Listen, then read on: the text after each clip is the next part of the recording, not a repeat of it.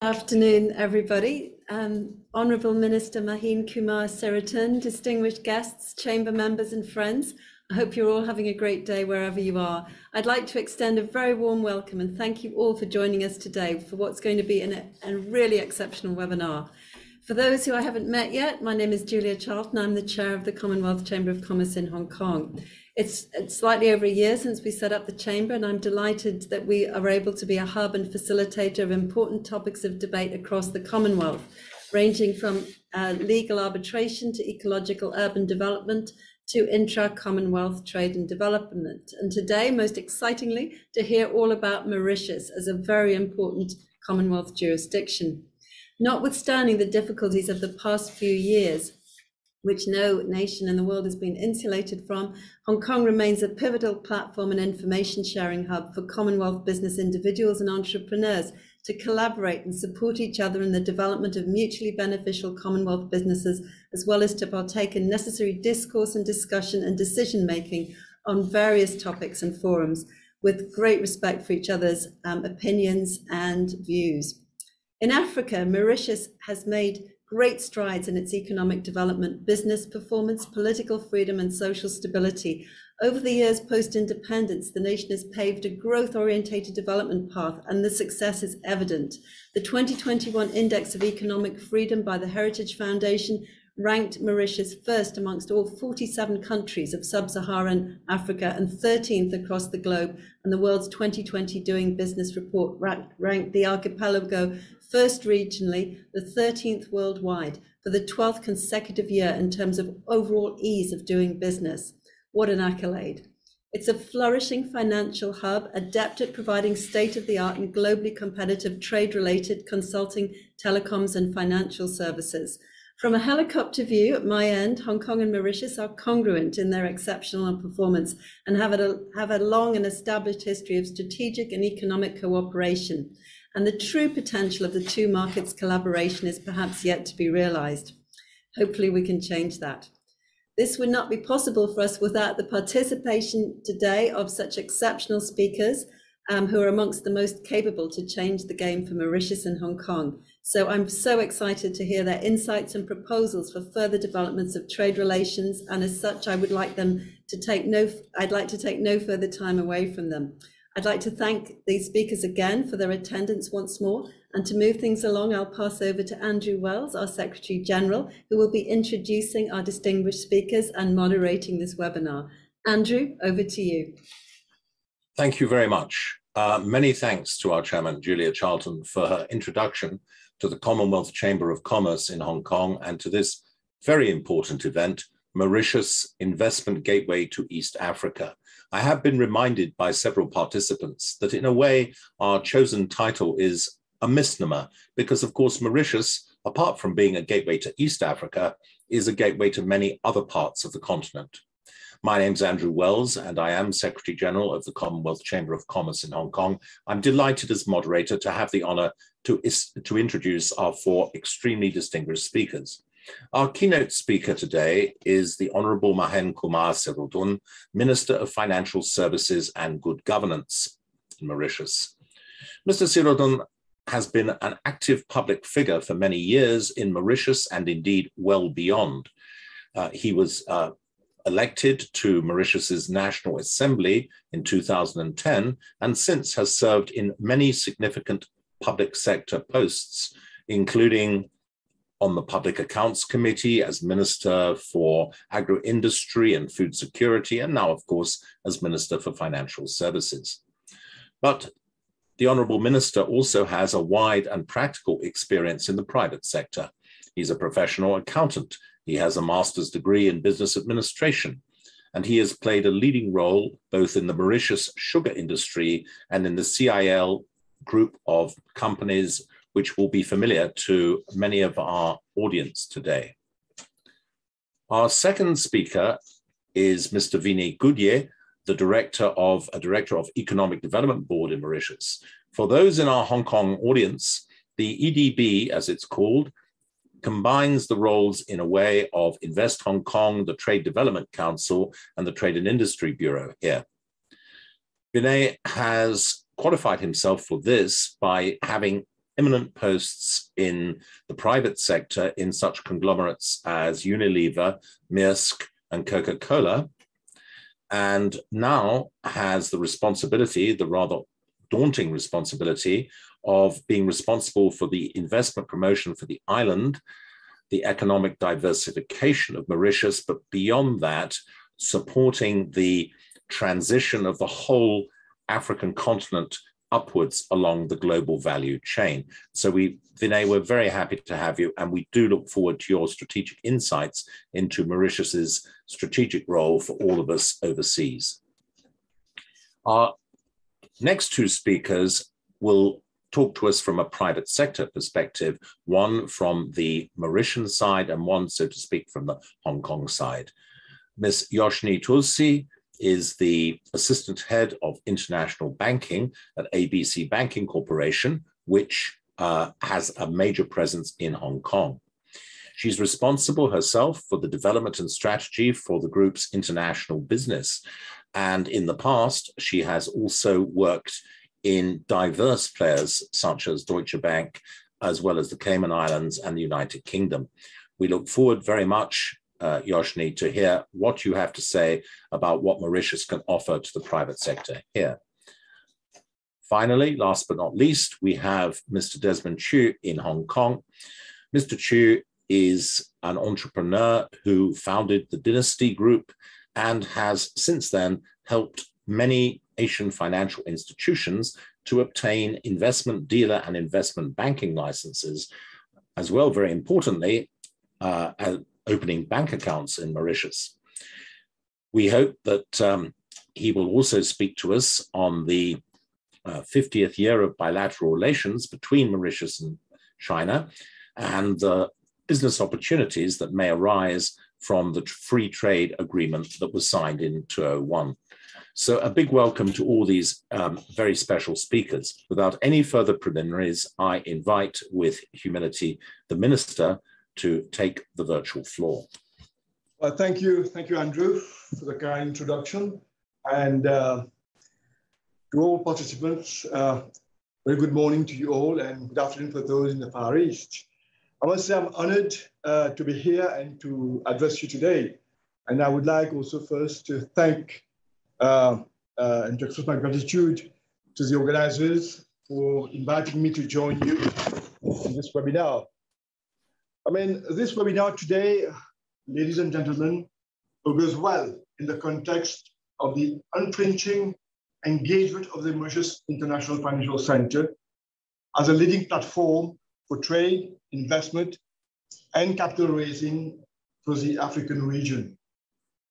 The well-crafted agenda today takes purposeful strides in advancing the Mauritius for Africa agenda and raise our understanding of an important, important economic hotspot for Africa.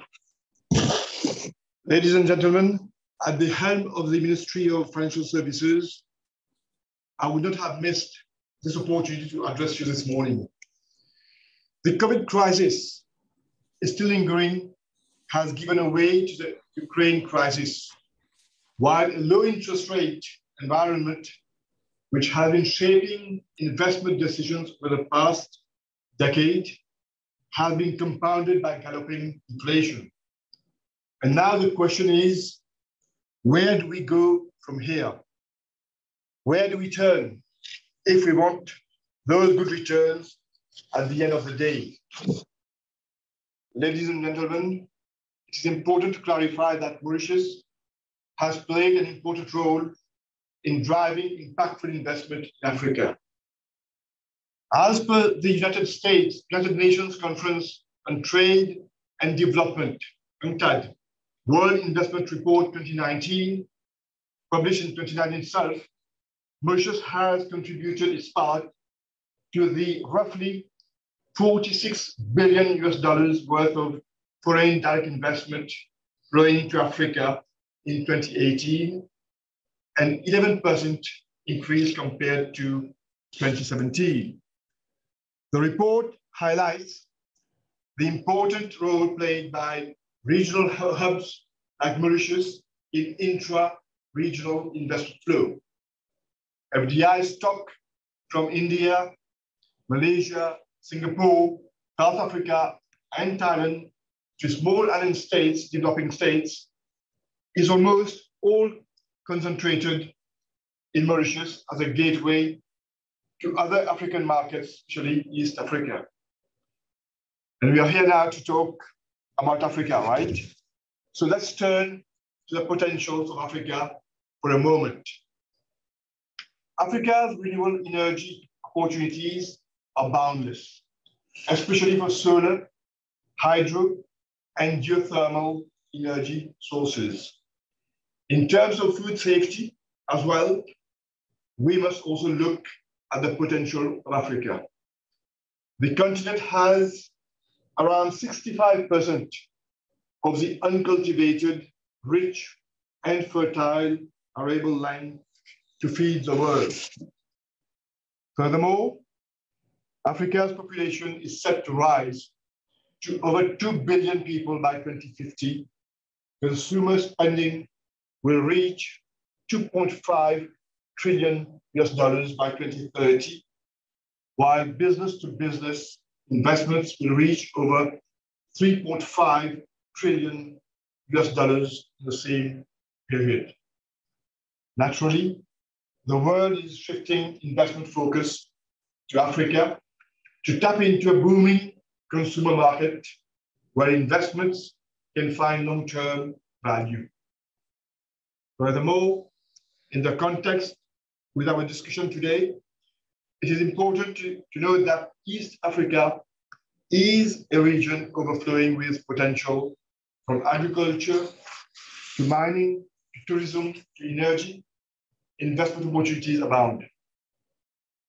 Also, it is expected that over the coming decades, Nigeria and East and other East African countries will perform particularly well. In this regard, ladies and gentlemen, you are in the right place to take the, the conversation forward, as Mauritius will certainly continue to play a decisive role and also an impactful, impactful one to unlock Africa's multi-billion dollar investment opportunities. Ladies and gentlemen, in August 2021, the Economic Development Board commissioned Capital Economics, a British consultancy firm, to conduct a study on the impact of investment routed from Mauritius. As per their findings, the Mauritius IFC is driving quality foreign direct investments into the continent. After India, Africa is actually the second largest destination for investment from Mauritius, to totaling 82 billion US dollars. The investment from Mauritius into Africa represents 9% of overall foreign investment into the continent. The report further highlights significant investment from North America, Europe, and Asia, whereby Mauritius acts as an important channel for investment flowing into all regions of Africa. The exercise conducted by Capital Economics suggests that currently the largest beneficiaries are East and West Africa, followed by Southern African countries, excluding South Africa, which have stocks of inward investment of 21 billion US dollars, 16 billion US dollars, and 12 billion US dollars respectively, that have facilitated by Mauritius. Furthermore, in East and West Africa, Mauritius is responsible for 10% of each of their total FDI and portfolio investment stock. As you may observe, East Africa is certainly the largest destination for investment. Ladies and gentlemen, according to a capital economics report, the annual flow of investment from Mauritius has been increasingly quick. Quick. And there's no doubt Africa is growing, is a growing market for Mauritius, but the potential for growth across Africa will vary between countries. Those with good institutions, stronger infrastructure, and proximity to major economic centers would be able to grow at a faster rate. Investment into East Africa over the past decade has increased by 29%. Ladies and gentlemen, Mauritius for Africa will continue to fulfill its promise by delivering on the Africa we want as envisioned in the African Union Commission's 2063 agenda. To promote prosperity and development in Africa and ensure that sustainable development goals are met, there needs to be a focus on stimulating foreign investment into the continent, where there is a need to finance around 700 billion dollars per year. Ladies and gentlemen, I can assure you that the commitment to more responsible investment is central to my ministry's objectives going forward. We are embedding environmental, social, and governance thinking in our policy decisions to create a more sustainable environment for investments to happen. My ministry, in tandem with the National Committee on Corporate Governance, is working on an ESG framework to achieve our vision of continual improvement in ESG performance. We are working to give the comfort to investors that funds channeled through Mauritius into Africa come with sustainability credentials. Ladies and gentlemen, I take the opportunity of this forum to invite you all to come and do business with Mauritius. The Mauritius brand is now a mature, a mature IFC, which ticks all the boxes from an investor's perspective. As I mentioned earlier, Mauritius is used as a platform of choice for onward investment across the African continent.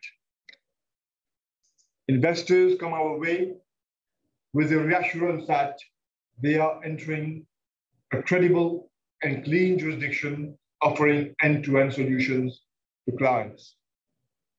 Mauritius offers a seamless service to Mauritius domicile and foreign structures. Mauritius now has a robust and modern AML CFT framework, which adheres to the highest standards when compared to other highly developed IFCs. Furthermore, Mauritius is compliant with the OECD standards and has no harmful tax regimes, thus putting the country at a level playing field with other reputable IFCs. For all these reasons and many more, we are confident to see the continued use of the jurisdiction by fund managers and invest, investors to invest into Africa. Ladies and gentlemen, allow me to draw your attention to our, on our reputation as a fund jurisdiction. Mauritius has a robust fund framework. Our fund administrators provide a strong middle office along with enhanced investor reporting solutions to fund managers. These fund managers are now increasingly using our jurisdiction as an efficient administration, accounting, and back office solution for the serving of funds domiciled in other countries.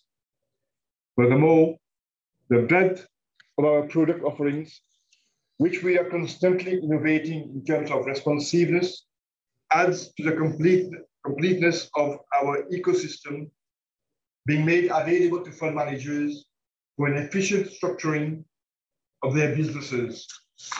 We have introduced new activities for regional headquarters and fund and asset management with the introduction of special tax regimes.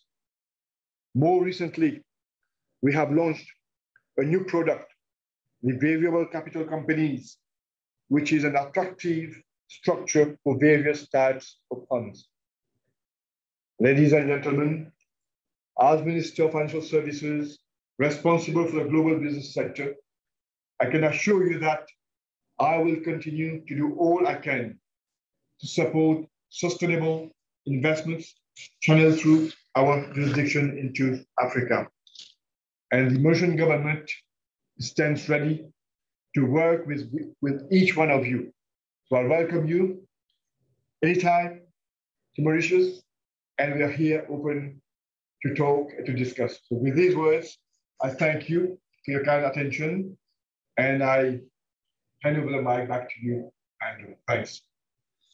Thank you very much, Minister. That was a tour de force of a presentation. Certainly, um, I hadn't realized the FDI figures in particular. I'm sure we're all looking forward to diversify, if we haven't already done so, into Mauritius, uh, having heard what you've said. I'm sorry you have to leave us now, but believe us, we will be in touch, possibly in person, in your island quite soon. May I now ask um, our next, next speaker, uh, Mr. Vinay Guddye, to take the floor. Thank you, Andrew, uh, Honorable Minister, uh, Chairperson Julia, uh, and uh, Secretary General Andrew. Thank you so much for this opportunity. Uh, it's truly a, an honor and a pleasure to be here with you today and talking to the Commonwealth Chamber uh, for Hong Kong. And uh, basically, I would be substantiating uh, part of what the minister has been saying in the presentation. Uh, I do believe that somebody's going to move this slide, so we can go to next slide, please. Right, so um, my first uh, point, my first slide is about uh, Mauritius, just introducing a little bit about Mauritian jurisdiction to those who don't know about Mauritius. We got independence back in 1968, which is about 54 years ago. And at that time, Mauritius was a poor uh, island state nation uh, with a GDP per capita of uh, $400 at that time. So uh, not many people gave Mauritius a true chance to be successful in reality. And uh, if you look at Nobel Prize winners like James Meade and V.S. Naipaul, uh, who described Mauritius basically as a lost cause, but certainly uh, the island nation of Mauritius, which doesn't have any natural resources, and it's far away from its major market, being a small island developing state, uh, banked on the excellent governance, on its political stability, and also on the social stability that the, that the island had, and a lot on educating the, the population. And slowly but surely we went up through uh, economic diversification of the country. So I'll take you a little bit for the economic journey of Mauritius here. So back in 1968, Mauritius was what an agricultural economy. 80% of the GDP was around primary sector agriculture, which was mainly the cane industry, which was 75% of the GDP at the time, the sugarcane. And then in the early 70s, uh, we moved into a an ex, uh, import ex, import substitution strategy where the Mauritius embarked in the industrial, industrialization of the island. So export processing zones uh, were created across the island where uh, the rapid industrialization process started to limit the importation, reduce trade deficit, and at the same time, we embraced textile technology in Mauritius, and through the textile industry, uh, the GDP per capita went up, as you can see uh, already uh, in the mid 80s, it was over $1,000 per GDP. Then in the early 80s, it was about the development of the hospitality and tourism sector, and that helped Mauritius to move up the ladder. And you will see in the 1990s, were around $2,400 per, per GDP per capita. In early 1990s, more specifically in 1992, uh, and, and, this is 30 years of the financial sector Mauritius. So the, the financial industry was set up in 1992. Um, at that time, in 1991, the Mauritius signed a India, and that was basically the base of setting up the financial sector and the global business sector in Mauritius. And you can see the rapid expansion in the 1990s to the, to the 2000s, where the GDP per capita went up to about $8,000.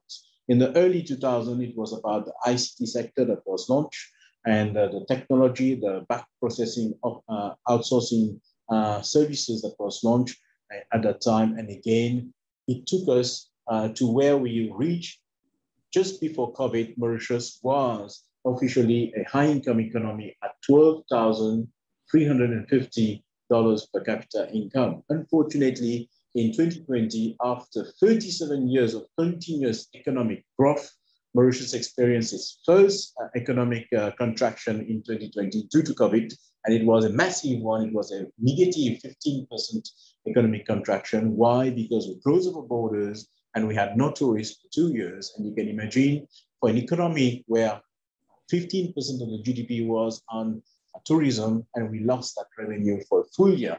Lessons learned, we are putting into place uh, new measures to make sure that we are more res resilient going forward. But the good thing is the Mauritian GDP growth is the perfect V shape that economists would like to see because we dipped by 15%. Next year, we grew up by 5%. This year, we're expected to grow by another 7.2%. And from there onwards, it's going to be positive 5% growth for the next three to four years at least. Uh, we're looking at to 2020, it is going to be again positive GDP growth for the Mauritian economy. Next slide, please. Right, so uh, we go to the next slide. So the next slide is a little bit a summary of uh, accolades. We heard uh, uh, previously uh, the chairperson and Andrew and also the minister talk about the accolades. This is important because whenever somebody wants to consider why Mauritius, and, and, the, and the, the key aspect is that you want to look at the jurisdiction, especially when you're looking at Africa, you want to mitigate risk. And now when you talk to global CEOs, they will tell you, you know, if, if Africa embrace good governance, they will readily invest in Africa. Why? Because IMF has said that uh, Africa is where China was 30 years ago and where India was 20 years ago. What they mean by that is that 30 years ago, uh, China ex experienced rapid, uh, started to experience its rapid growth, economic growth uh, in, in, in the early, in the late 1980s and early 1990s, while India in the early 1990s and late 1990s experienced its rapid growth. And according to the IMF, Africa is actually at the dawn of its rapid economic expansion. Why? I will just share with you why. Because Africa is 17% of the world population, the fastest growing demography in the world, expected to reach 2.5 billion by 2050.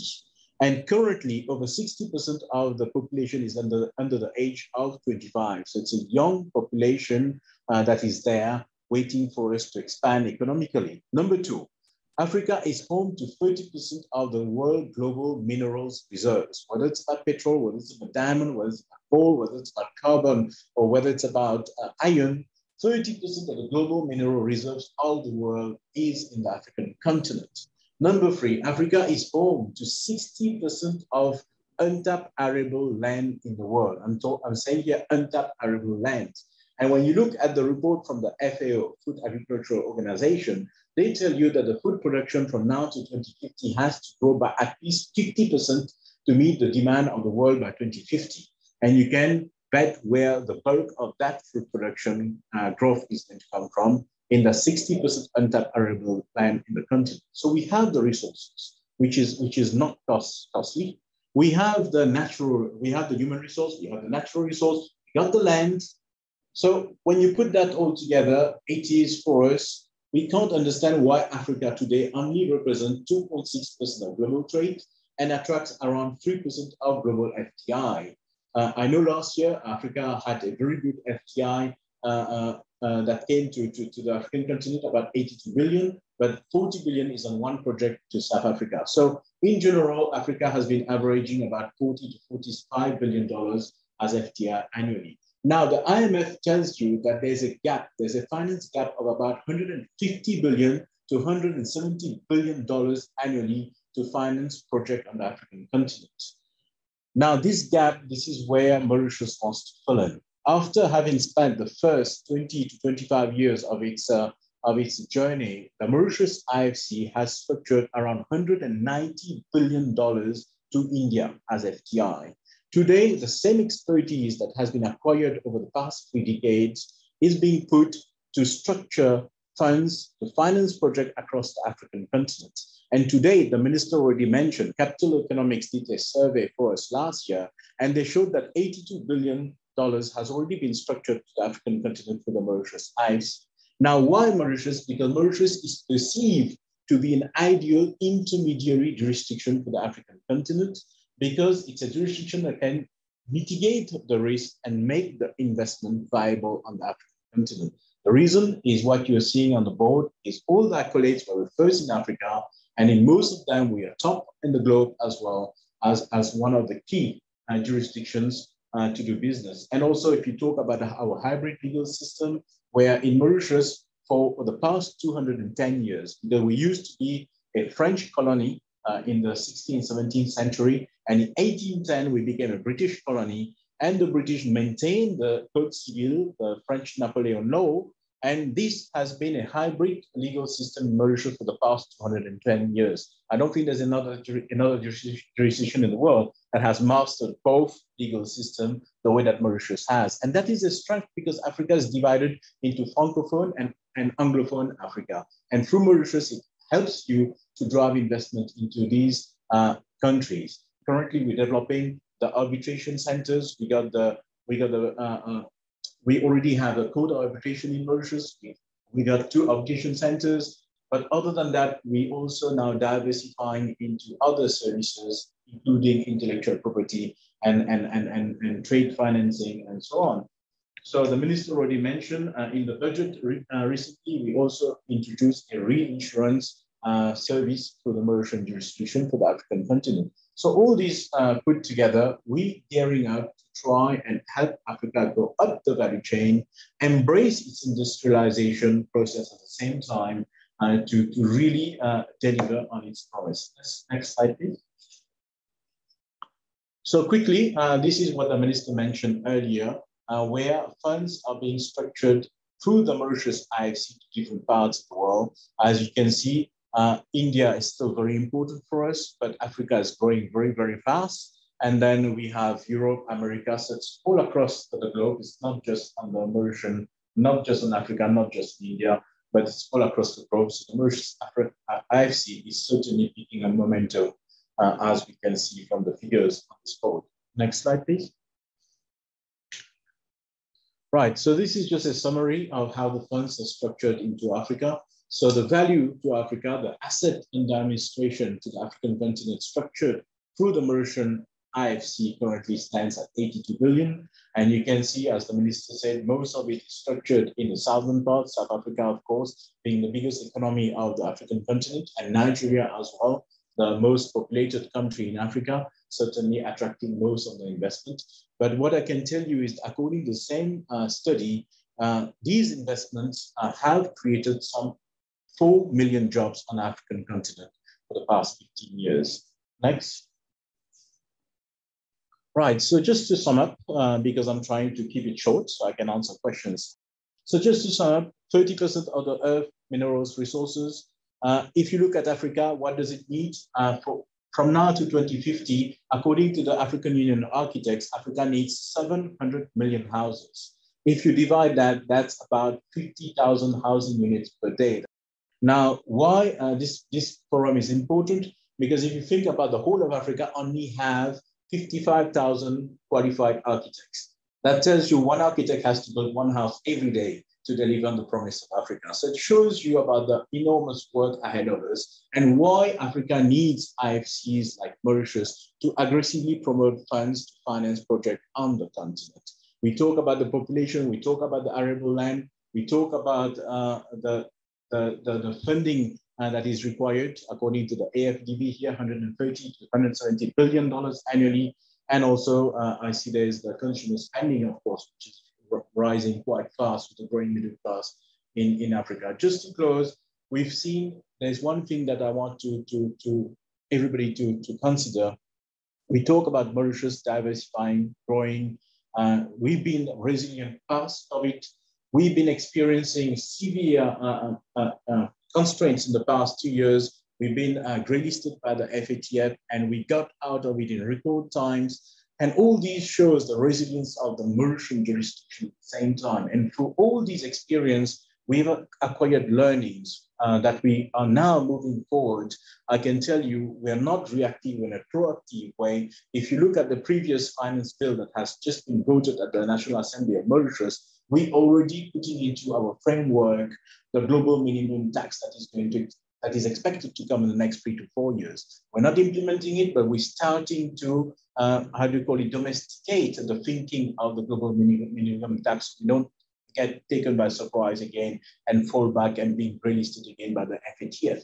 So this is the lessons that Mauritius has learned. How do we adapt with the dynamic global legal requirements uh, and also with, with the fast growing internet and, and fintech and, and all these technologies we cannot just rest on our laurels now that we are properly whitelisted and meet all the jurisdiction, all the uh, requirements by the OECD, by the EU, and by the FATF. It's about adapting and it's about continuously improving to make sure that we deliver the at the highest efficiency, highest effectiveness, but also with regards and respecting all the norms and expectations of the global bodies at the same time. So we want our ambition is to create that jurisdiction, that intermediary jurisdiction of trust that will mitigate your risk so that your investment, not just in Africa, but across the globe, is done in a fast, in an effective, in a cost-effective manner, but also in a trusted and reliable jurisdiction. That's where we want to go. That's where we want to position Mauritius. And I hope that I've been able to share that seven, eight minutes what, what a summary of Mauritius and supporting the minister's uh, statement earlier. And I'm looking forward to your questions later on. Thank you, Andrew. Back to you. Thank you very much indeed, Vinay, for that comprehensive and passionate explanation, exegesis on what Mauritius has to offer strategically. And as you say, I'm sure that a lot of those points will be taken up in Q&A. Uh, given the time constraints, I want to hand over the floor as quickly as possible to the next speaker, uh, Ms. Uh, Yoshni Tosi. Yoshni, over to you. Thank you, Andrew. Good afternoon, everyone. Thank you once again, Andrew, for the introduction and for having me in today's session. I'm really pleased to, to talk about Mauritius uh, being the gateway for cross borders.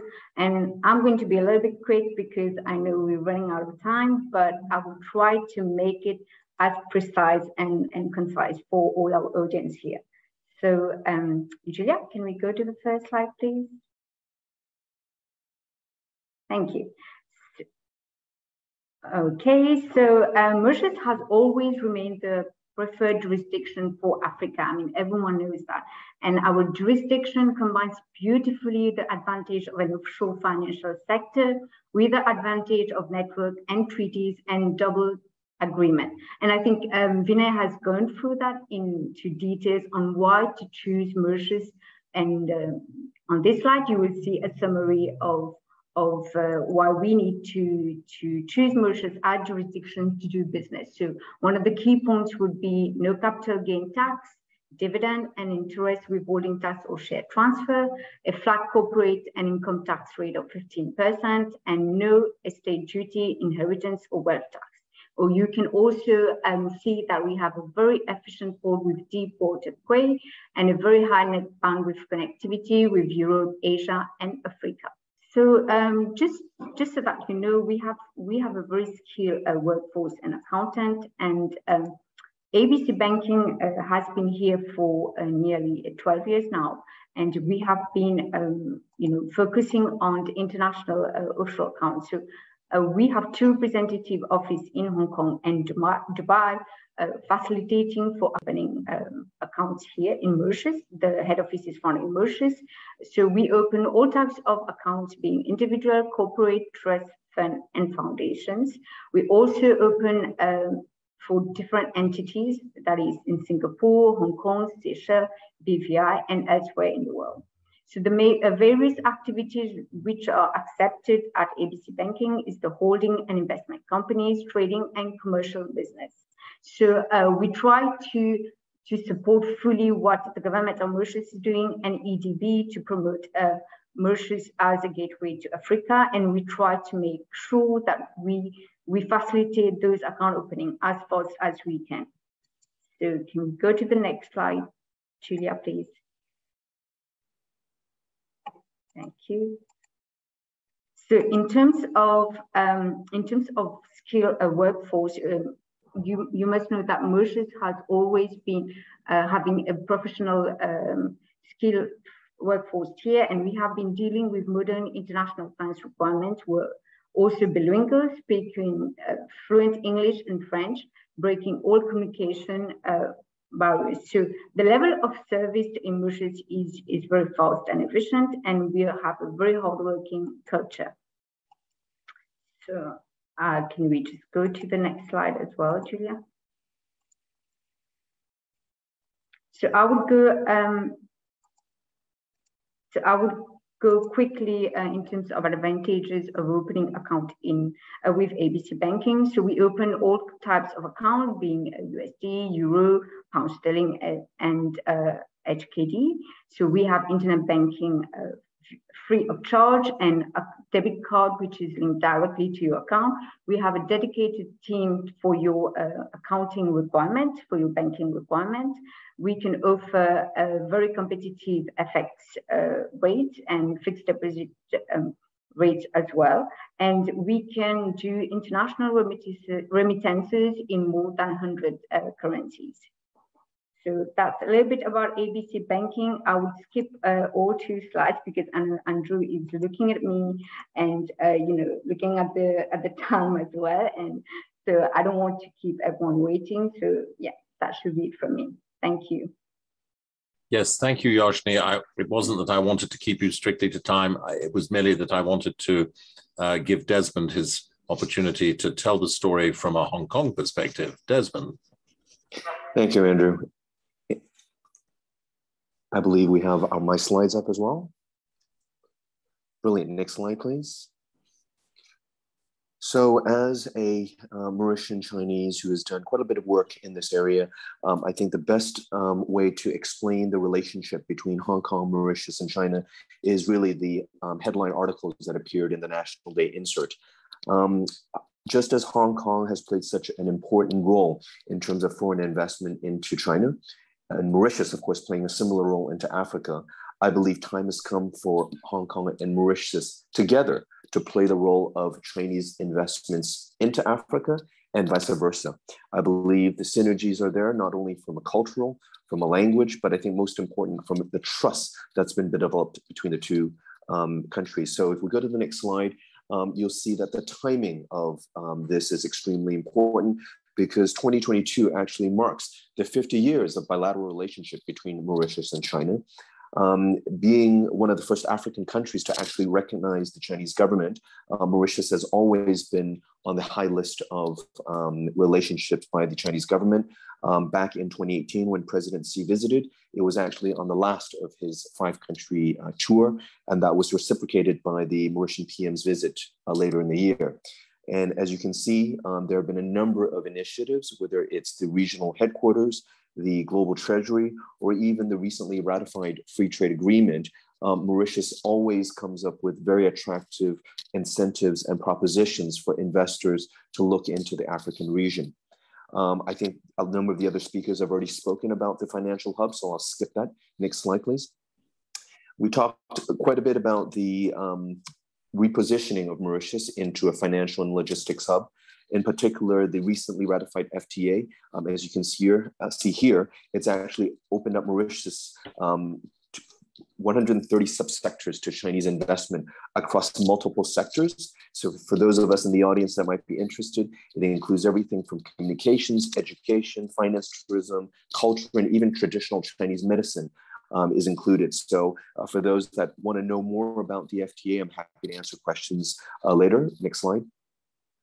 One of the key things that I think is interesting to consider um, when we look at the final frontier, um, which is of course Africa, is that it's more than investments into mining and infrastructure. There are actually many, many soft infrastructure plays, whether it's in the areas of fintech, technology, uh, capital raising, or even blockchain. Um, and as you can see from the next slide, um, I've actually um, got two case studies that I'll quickly share with everyone here. One of the companies that we have taken into Mauritius is a Hong Kong and Cyprus regulated financial group called uh, KAB Group. They've actually recently set up their investment dealer license in Mauritius with the view of attracting high net worth Chinese monies, um, using Mauritius, of course, as the hub. Um, we see more and more of these um, non-banking financial institutions being set up in Mauritius, and of course, using that as a platform for further investments into Africa. The next client is actually one that has put together a co-working space. This is particularly interesting because as more and more Chinese investors look to position themselves into Africa, they are seeing the um, the stability and a lot of the other factors that was mentioned earlier, um, using Mauritius as their um, hub into Africa. Next slide. Moving forward, there are also new um, opportunities. Uh, recently, the FSC of Mauritius has launched what is known as the VASP, the Virtual Asset Service Provider Regime. So for, for those of us in the audience that might be interested, um, a number of the crypto-related licenses, whether it's the broker-dealer license, uh, which of course allows for OTC desks to carry out activities, all the way to a class S, which would be a full-blown exchange license similar to that of, of a Binance, um, those VASP licenses are now available. And of course, com coming with these licenses would be um, the banking infrastructure that would facilitate the off-ramping of such digital assets. The other area that I believe um, bodes a lot of potential is in the area of virtual exhibition centers. I think earlier in the seminar, we have heard speakers talk about the growing trade and the importance of um, the China-Africa trade window, and therefore positioning Mauritius and other African Indian Ocean economies as those exhibition centers, particularly from uh, using the metaverse, um, I think is uh, going to bode well. And so um, I believe we've spoken about a lot of interesting areas uh, for future growth. But a lot of people ask Desmond, given that you, you have done quite a bit of work in this area, um, what has inspired you to, to do so? So if we could perhaps go to my last uh, slide. This is just to share that a lot of the inspiration has come from my late grandfather, Sir Chuen. Um, he actually appear, appears on the currently circulated uh, 25 rupee bill. Um, he was instrumental in creating a lot of the uh, early contributions of the Chinese community into Mauritius. Um, an earlier speaker mentioned about the development of the EPZ. He was actually uh, one of the key um, leaders that brought the Chinese and Taiwanese investors. So it is under um, a lot of the previous work done by my grandfather that really has inspired me uh, to continue that work and hopefully in conjunction with efforts by the Commonwealth Chamber, we look forward to inviting many of you in the audience to join us in Mauritius in person and explore the opportunities at hand. Back to you, Andrew. Desmond, thank you very much. If there was ever a marvelous combination of tradition and the present practicalities and the future, that I think was it. Now, before I uh, go straight to Q&A, can I uh, remind the audience, which actually is quite a substantial one, uh, please do type your questions in. I have received a few, um, and uh, I'd like to receive a lot more because I'm sure you'd all agree that what we've been offered today has been um, a uh, gallimaufry of, of public and private sector views, looking at it both from a, a Mauritian, a Hong Kong, a Chinese, an African, and indeed an international perspective. Uh, while I wait for those additional questions to come in, um, perhaps I'll, I'll, use moderator's privilege to ask a couple of my own. Uh, the minister and also um, Vinay referred to the, or Vinay in particular, to the common law and French civil law tradition in Mauritius. Um, being Anglo-French myself, this is fascinating to me. I'd like to ask uh, Vinay, um, but others please contribute. How do you consider that this common law and French civil law uh, tradition uh, complements or complicates itself in the Mauritian legal context. I mean, there have been cases, I mean, uh, Vanuatu is one where the two systems didn't work entirely well together. So what would you say on, on, on that? What is, is it an attraction or is it a distraction? Uh, Andrew, uh, thank you. Thank you for this question. Uh, from, from our perspective, it is a strength uh, for Mauritius. Uh, it is an attraction uh, because in this world today, when you're trying to, especially across the globe and even in Africa, uh, when you're trying to, to really do business globally, it's important to grasp the key law for grasp the key laws from all other countries. And, and having a good understanding of both the, the, the French code, civil code, and the British common law uh, certainly uh, all goes well for a jurisdiction like Mauritius. I can tell you uh, why it works well in Mauritius, because we have man managed to find a niche after, I'll say, 210 years of practicing both uh, next to each other. And of course, what you will find is that the British common law is used in all the commercial aspect of uh, all the common law, you know, all, all the everything that we do is, is based, the British, the Mauritius constitution is mainly uh, adapted from the British constitution at the end of the day. So the British common law is widely used across Mauritius and it's used to, to structure uh, almost everything that we see. And the French code, the French civil code is used mainly uh, whenever there is an asset uh, acquisition of immovable property asset. That's where the, we found that the French civil law is much better structured for that. And you will find that when you have to go to notary and you have to to, to, to, to do any transaction with regards recording your property or, or transferring your property, this will be done based on the French civil law in Mauritius. And, and because what they have done over, over 210 years, they have certainly uh, identified the strength of the common law and the strength of the civil law. And that's what they have in Mauritius, a hybrid legal system where you have almost 80% of what we do is around the British common law, and the 20% about asset property acquisition is around the French civil law, basically. And, and you will find that when it comes to succession planning and everything, the French civil law is very, very in detail and structured to that. So we've taken the best of both worlds, put it together, and it gives us also the ability to look at serving uh, different jurisdictions from the Mauritian jurisdiction. Today, when we have arbitration court, we can do it both uh, in the British common law or in the French civil civil uh, law uh, uh, regime. So, so that certainly all goes well and gives us that certain flexibility that other jurisdiction doesn't have. certainly, for some people, it might may sound com complex and confusing. I'm not a legal person myself, so maybe my answer is limited there, but, but certainly when I do speak to, to all the legal firms that are using Mauritius for structuring investment overseas, they tell me it is something that they use to promote themselves and it works quite well uh, because it is attractive at the end of the day. Merci bien, tout à fait d'accord uh, con vous et con Monsieur le Ministre. Um, the, the second question that I have um, is this, and it is perhaps directed best at Yoshni, I think. Um, what, looking forward, do you think is the future for Mauritian financial institutions? Of course, you've got a vested interest, ABC, but let's say in general, in Hong Kong specifically.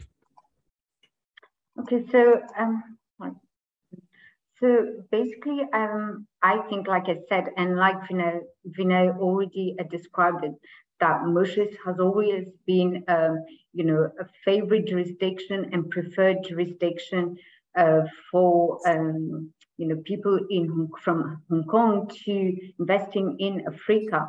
So um, we we have a very skilled workforce. We we have a very uh, well structured uh, framework um, in Mauritius in terms of uh, our banking institution, our financial institution. So um, to really invest in, in Mauritius, it's not going to be a, a, real problem for Hong Kong investors there. Thank you, Yoshni. And I do have also a question for Desmond here. Um, you've you have, as they say, been about a bit, um, and you know the Mauritian and the Hong Kong and the mainland China and the African market well. So, from a Hong Kong and Greater China perspective, um, if you were had to sum it up quickly, what would be your key frustrations and also key successes or happinesses, shall we say, in working with Mauritius from here? So let's start with always the pluses, which is, um, I think, the fact that there is such affinity between Mauritius and China.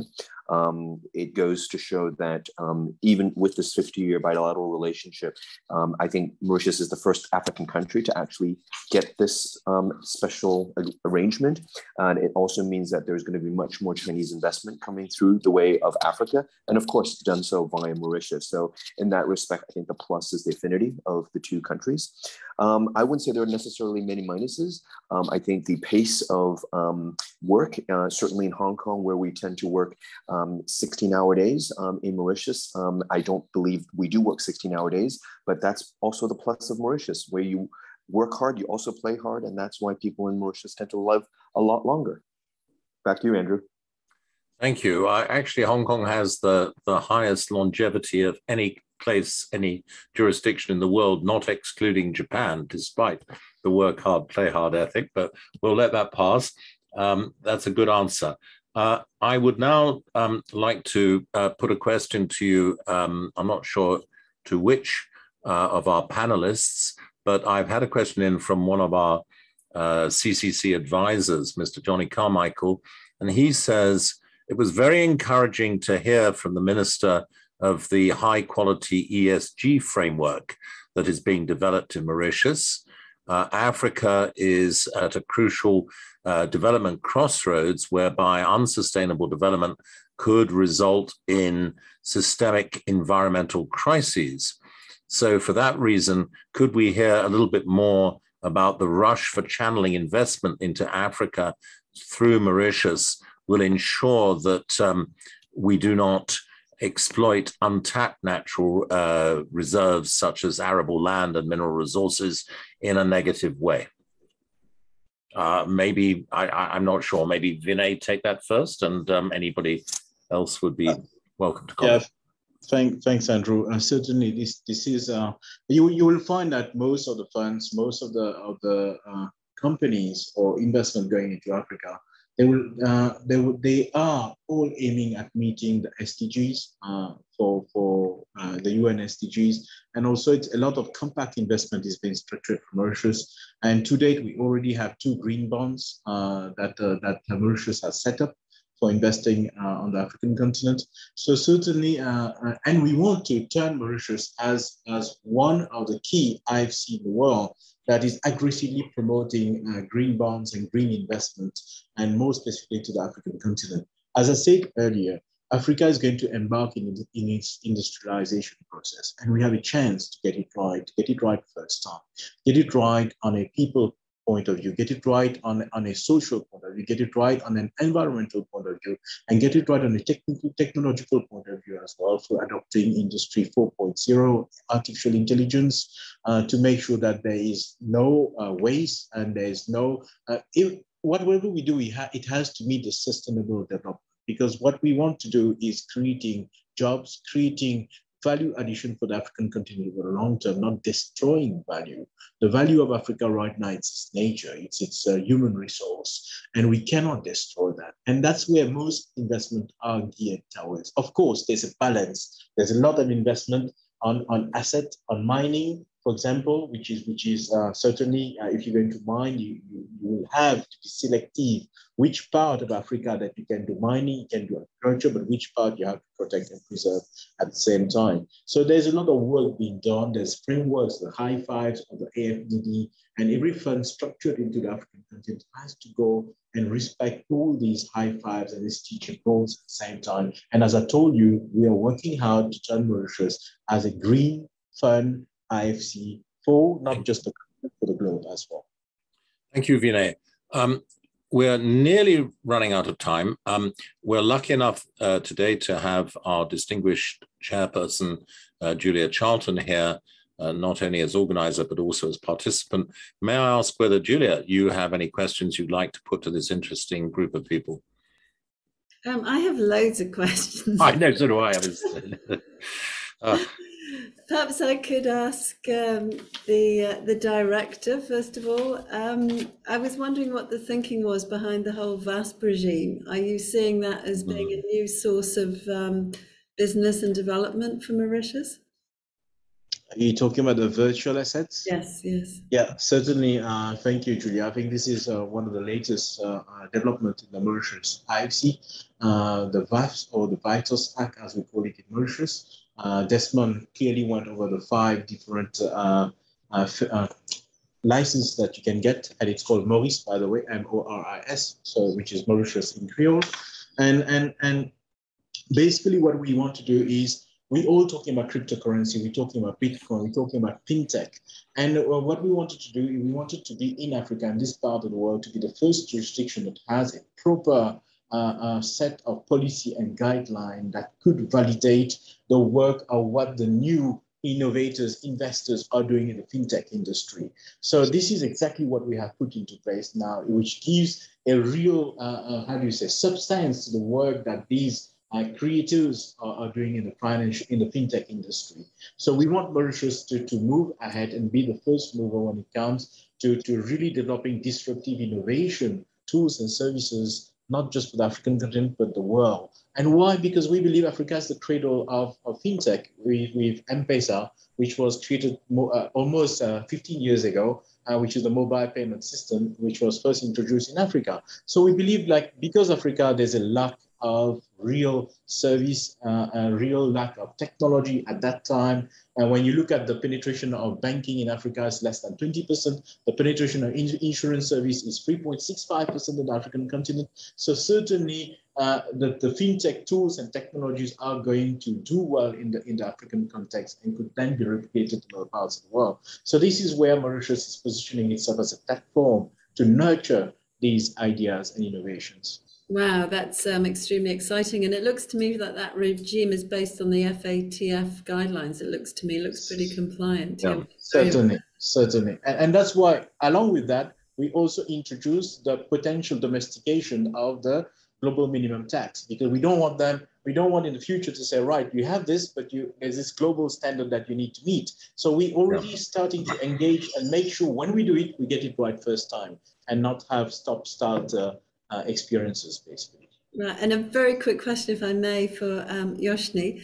Um, thank you very much, uh, Director. Um, I just wondered, Yoshni, how digitalized is ABC Bank and how digitalized is the um, banking sector in Mauritius generally? Perhaps you could just comment on that, please. Of course, um, Juliet. Um, you know, with ABC Banking, we've just uh, upgraded our internet banking platform, which is free of charge. So you you can do um, international payments anywhere in the world, of course, except from the sanctioned countries.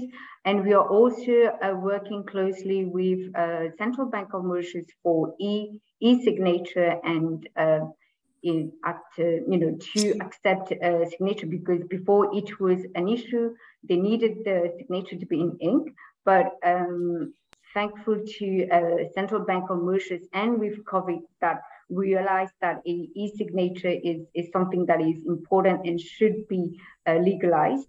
Um, and this is a very interesting features for our clients uh, international where they do not have to come to Mauritius or to the bank to uh, open account. So uh, it gave us a huge advantage compared to banks in Hong Kong, Singapore, uh, which needs the uh, even in Dubai, which needs the, the clients to be uh, present in in um, you know uh, physically there to open the account.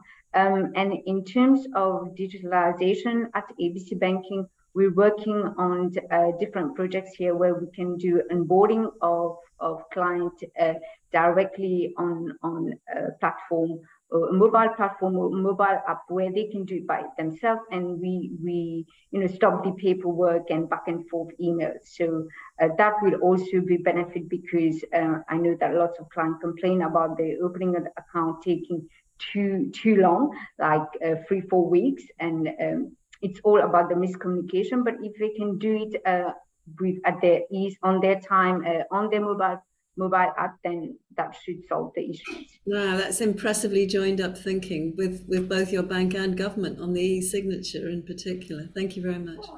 Thank you. Well, uh, thank you, Yoshni and, and Julia. Um, I was originally going to pose a, a, final question, but I have had a much better one uh, put to me by an anonymous uh, panelist, uh, sorry, attendee. So I'd like to ask this question. What advice would you give someone looking to visit Mauritius for the first time? And how would that advice change if someone wanted to invest in property there? Um, I'd like to ask all the panelists for a very quick take on that, starting with Desmond, please.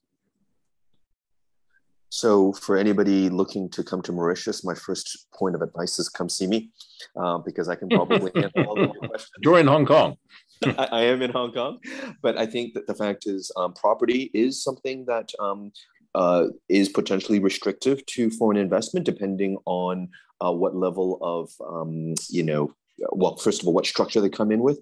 Um, I think the, the government has a number of policies that they're opening up now, especially some of those linked to residency permits. But um, rather than go through lengthy discussions, for anybody interested in making such investments, uh, I'm sure both the EDB and private sector would welcome them with open arms. Um, Andrew. Yeah. Yes. Uh, would, thank, thank you, um, Andrew. would, yes. would- Would you would- like to comment, uh, Vinay? Yeah, I would like to opinion? compliment that because there's some changes uh, which has been brought during the COVID time, and, and, and I think Desmond will be very happy to hear that. Uh, recently, uh, through the finance bill uh, that came into force uh, two weeks ago, uh, you any any foreigner can purchase property in Mauritius to the value of three hundred fifty thousand dollars. Uh, They will have to to pay. Uh, they will have to add ten percent of that value to a fund in Mauritius, but that will give you uh, ownership, full ownership of your property, and that will give you access to a 10-year resident permit in Mauritius as well. And you can visit Mauritius, uh, uh, you know, like in terms of uh, on a tourist visa, I think uh, most of the world, uh, 98% of the countries of the world have, you don't need a visa to come to Mauritius. Uh, there are a few restricted countries, of course. I don't. Uh, I know Hong Kong and China is not part of that restricted countries. Um, Another thing is if you want to come and really try Mauritius as a place to work, you can also, there's a new premium visa that has been launched. It's totally free. It's valid for a year. You can come and do whatever you want. You can even work. You don't need a license. You need a permit and you can just experience Mauritius. And if you are happy, you want to eventually move your office, your family, or you want to acquire property in Mauritius, uh, then you make your choice and it's flexible. We can change it to a resident permit. We can change it to investor permit, investor permit. We can change it to any permit over the course of the 12 years. So a premium visa, which is free, you just apply online and it's given by the EDB. You come to Mauritius, you don't have to worry about anything. And then during the 12 months, if you choose to do anything, you just talk to us and we'll just transfer the visa from premium to resident, uh, fully residential permit in Mauritius. But investment in Mauritius, quite easy. It starts at $30,000 if you're in the ICT sector. Uh, even it, it involves your, your equity that you're bringing in, your technology or asset that you're bringing with you is part of the $30,000. But that's, the, that's for the ICT sector. But then uh, if you want to invest in the property sector, as I said, now it's open at about 350 plus 10%, so $385,000. That is the entry point for you to acquire your property in Mauritius and a resident permit altogether. Thank you, Vinay. Um, I, I, wanted to actually to ask about digital passports as well, but um, uh, like Julia, I've got too many questions, and other questions are coming in. Our time, alas, um, is drawing to a conclusion, um, and therefore, for those in the audience whose questions haven't been answered, do feel free to write to us, and uh, we'll forward your questions to um, our distinguished panelists. And similarly, uh, of course, I, I think uh, Julia would agree with me that um, we need to talk about how we're going to uh, have another event about Mauritius, especially when our COVID uh, restrictions allow us to travel there. And of course, um, uh, I understand the EDB is also contemplating a visit here, which would be welcome, and we would be very happy to assist in hosting you here. I'd like to repeat my thanks to all of you for your very thorough replies to all the questions. Um, I have always had a personal bias in favor of Mauritius, but I think that the whole audience, which has actually been one of the best audiences we've we've we've had, um, uh, and our audience is usually quite good, will will agree that the investment and financial opportunities for Hong Kong and Greater China entrepreneurs in Mauritius are going to continue to uh, grow, especially as we uh, re-emerge out of the COVID situation into some semblance of normality. Uh, thank you all for uh, signing up to this event. Please keep an eye on our website for future events. Let us know if there are other things that you'd like to us to discuss, whether it is about Mauritius, whether it is about Africa investment, or whether it is about anything to do with the Commonwealth. And with those words, may I please now hand the virtual floor back to our distinguished chairman, Julia Charlton, for her concluding remarks. Thank you very much, Andrew. I can really confirm Andrew's a huge fan of Mauritius. And thank you very much to the speakers. That you've all been fantastic. So all good things must come to an end and we need to wrap up now. And I think there's so many exciting pathways and initiatives about Mauritius, which have been discussed today, that you know it really does bear um, a, a, further event to go into this in more detail. Um, just just to pick out a few highlights, I think the Honourable Mahen Kumar um, the Minister of Financial Services and Good Governance, was extremely um, um, erudite about the opportunities for Mauritius um, in Africa. And as he said, the opportunities are boundless. And you know that extends from food security to ecology. And I was very interested to hear also about this new fund product, the variable capital company fund structure. That's that's a great development as well. And Mr. Vinay Guddye, Director of the Economic Development Board of Mauritius, thank you so much. Um, you're so knowledgeable, and it, obviously your um, private sector as well as government background comes across very strongly in, in how um, cogently you um, can uh, talk about these subjects. And I thought, you know, your emphasis, um, which also was came out in the questions about the dual feature legal structure, where it's a sort of pick and mix of the best elements of the francophone and the anglophone systems and uh-huh. how compelling that is as a uh, legal jurisdiction offering to Africa is extremely interesting. And um, Ms. Yoshni Tulsi, thank you so much for your practical insights. I think there's been an enormous amount of friction in the international banking system in recent years often created for good reasons for AML and so on, but some of the things which you've described about um, maintaining the good governance, but also finding ways to make um, international business less cumbersome, um, more dynamic, with less pain points is an extremely compelling offering, both for your own bank, ABC, but also generally for the banking sector in Mauritius. That was extremely interesting. Thank you. Desmond, um, from Hong Kong. Thank you so much. That's a great perspective from the other side of the world. You're director of Dynasty Wealth. Loved hearing about your grandfather. Sounds like that's a whole book in itself, or maybe it already is. Um, and clearly, you know a lot about the VASP regime. So I was very interested to hear some of the detail of that and about the virtual exhibition center on Metaverse. That is super exciting. So I feel this is all, you know, wonderful, wonderful picture that we've received about Mauritius. Thank you very much. Um, I'm sure there'll be the solutions we've heard about and projects which we've heard about um, will be taken up by many who listen to this webinar. So thank you again for being with us today, both to our speakers and to everybody who's joined us online. So thank you again for joining. We look forward to seeing you again soon. Take care, everybody. Goodbye.